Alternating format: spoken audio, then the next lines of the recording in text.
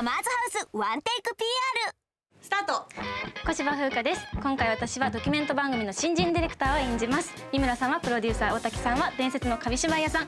では大竹さん紙芝居の見どころを一言でお願いします。三二一九えー、あのー、えー、っとあのー、えー、サマーズハウスぜひご覧ください。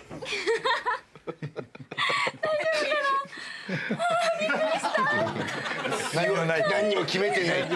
えー、だのーつって